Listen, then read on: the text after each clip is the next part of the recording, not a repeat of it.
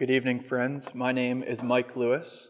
It's a joy to be back here for my second P3 talk, my first virtual P3 talk. Um, anyway, last summer I got the privilege to share my vocation story uh, right here before I got um, ready to head off for my uh, year of seminary in Rome. Um, that being said, I'm back from Italy, and after a 14 day quarantine, I'm now living here at St. Charles uh, while continuing to take my online classes. So, tonight I want to meditate on one of my favorite passages from Scripture. It's a passage about a journey, um, and we heard it last weekend, um, and that's the road to Emmaus. I'm going to read it here first and um, reflect on it a little bit. Um, try to tie in an experience I had in Rome um, related with St. Peter. So bear, bear with me on all of this. Um, there should be a link to the passage in the description of this video if you want to read along. Um, but it's from the Gospel of Luke, chapter 24, verses 13 to 35. That very day, two of them were going to a village named Emmaus, about seven miles from Jerusalem, and talking with each other about all the things that had happened. While they were talking and discussing together, Jesus himself drew near and went with them, but their eyes were kept from recognizing him. And he said to them, What is this conversation which you are holding with each other while you walk? And they stood still, looking sad. Then one of them, named Cleopas, answered him, Are you the only visitor to Jerusalem who does not know the things that have happened there in these days? And he said to them, what things? And they said to him, Concerning Jesus of Nazareth, who was a prophet mighty in deed and word before God and all the people, and how our chief priests and rulers delivered him up to be condemned to death and crucified him. But we had hoped that he was the one to redeem Israel. Yes, and besides all this, it is now the third day since this has happened. Moreover, some of the women in our company amazed us. They were at the tomb early in the morning and did not find his body. And they came back saying that they had seen even a vision of angels who said that he was alive.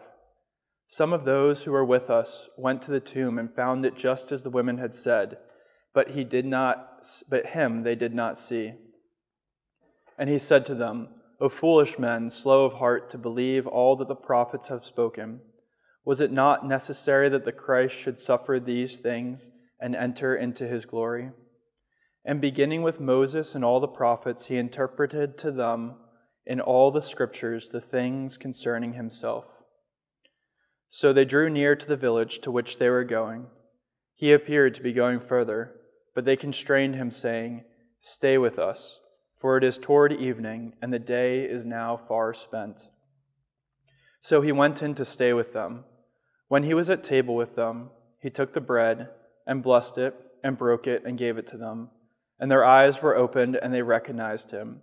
And he vanished out of their sight. They said to each other, Did not our hearts burn within us while he talked to us on the road, while he opened to us the scriptures?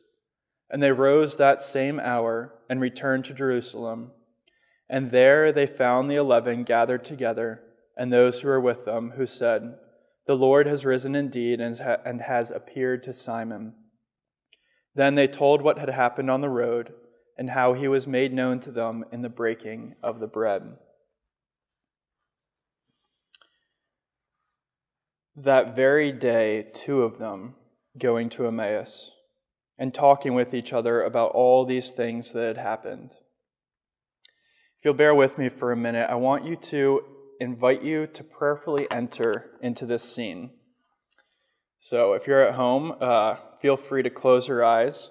And we want to just try to imagine what it would have been like for these two disciples. We know one is named Cleopas, the other is not named, so fill in whichever of the disciples of Jesus you want. Maybe it's John. Maybe it's one of the many Marys. I like to imagine it's our old friend Lazarus, the one Jesus raised from the dead less than a year earlier.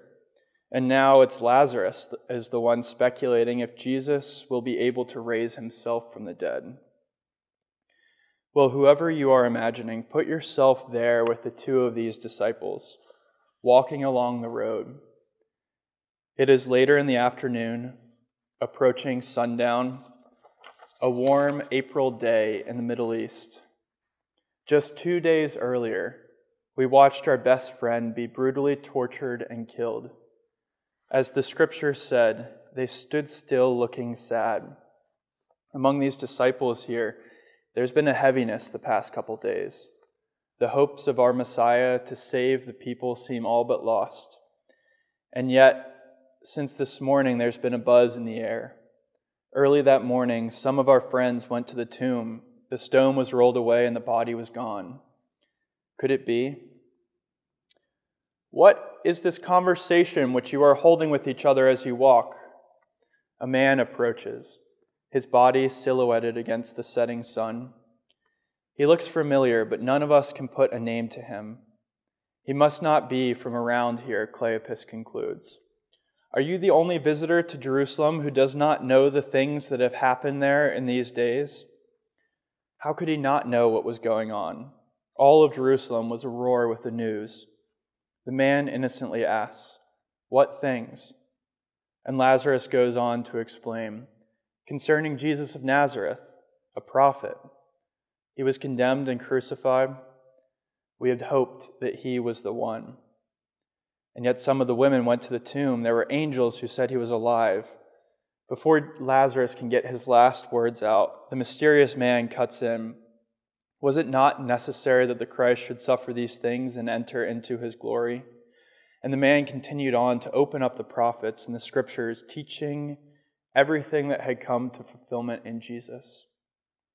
Stay with us, Cleopas exclaims, wanting to learn more as the man prepares to part ways. And he does.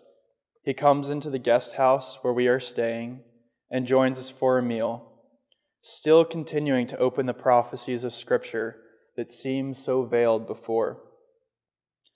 As we prepare to dine, he took the lead, taking the bread, blessing it with an unusual blessing that is generally reserved for the Passover meal, and he breaks it. As we raise our eyes from taking our first bite, he was gone. The three of us look at each other with amazement. It was him. He lives, Jesus. Tears pour from Lazarus's eyes. Cleopas is frozen with both shock and utter joy. I make it to the door first, and we're off, racing back to Jerusalem as the sun sets over the Temple Mount. Did not our hearts burn within us while he talked to us on the road and while he opened to us the scriptures? We'll go ahead and end the passage here, this meditation. If you had your eyes closed this whole time, you can open them. But what a story this is. Jesus is alive. He eats, he walks, he speaks with them. There's so much to reflect on here. But I think the last line is what stood out to me most. Did not our hearts burn within us while he opened to us the scriptures? What is this scripture but the Word of God? And what is the Word of God but the second person of the Trinity, Jesus Christ? The Word became flesh. As my fellow seminary Tim taught me, the Word of God assumes a real human nature. And this Word of God walked with the disciples on the road, making sense of the very scriptures of which he himself was the sacred author. And this authentic encounter with Christ happens not so much from the disciples seeing Jesus with their eyes. With their physical eyes, they could not recognize him, but with the eyes of their hearts enlightened by grace. Pope Francis, in his apostolic letter instituting the Sunday of the Word of God, reflects on this very passage. The scene clearly demonstrates the unbreakable bond between sacred scripture and the Eucharist. As the Second Vatican Council teaches, the Church has always venerated the divine scriptures as she has venerated the Lord's body.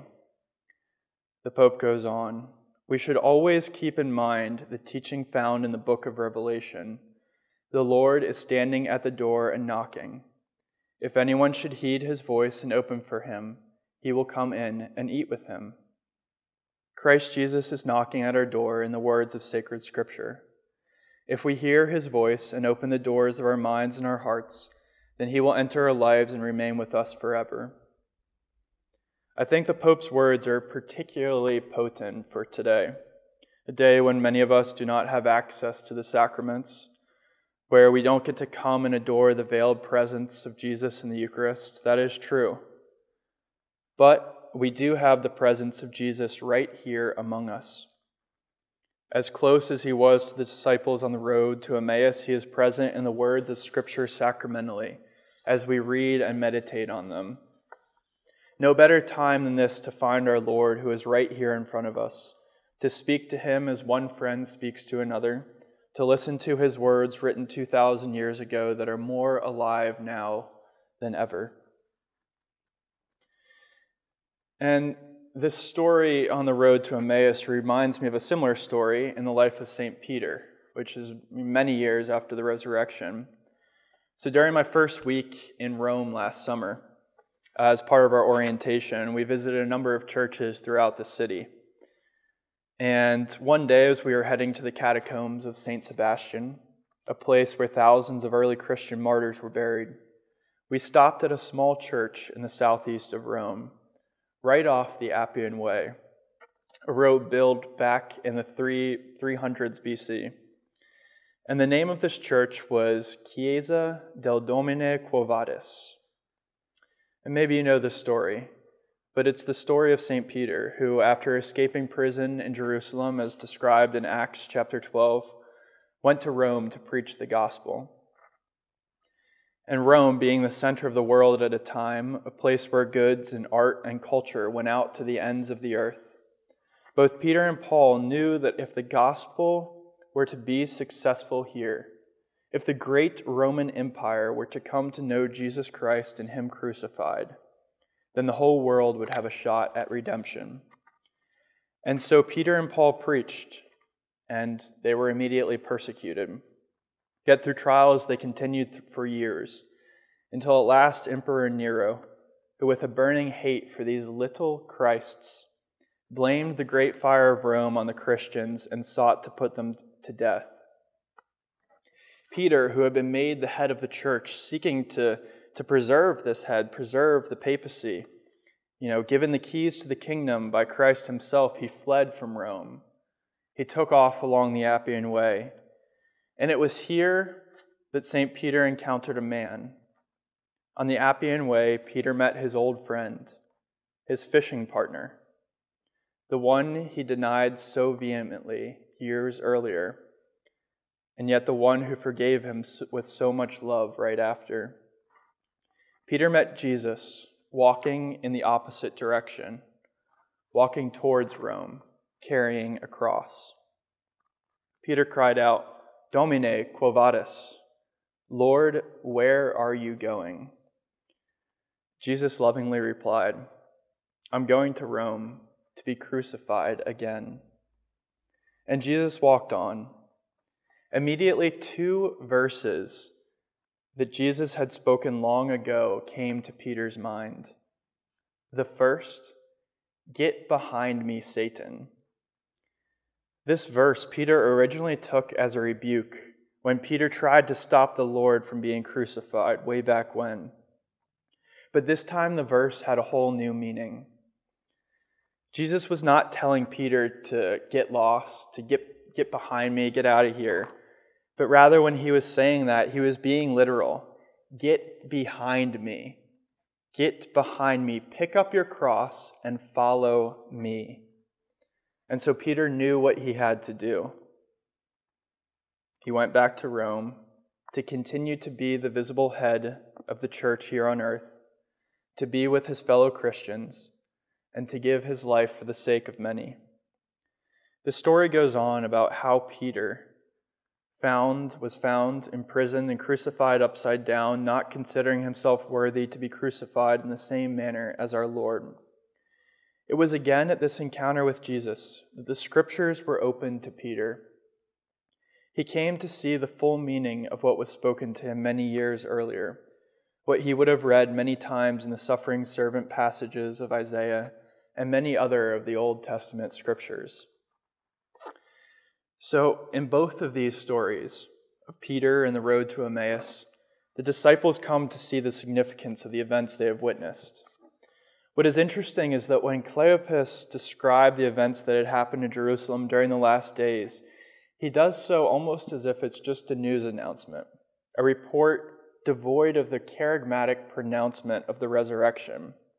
Yes, they know something's different, but it's only when Jesus open the, opens their mind on the road and their eyes to the scriptures and the breaking of the bread that they understand that Jesus is alive and has won over death and sin.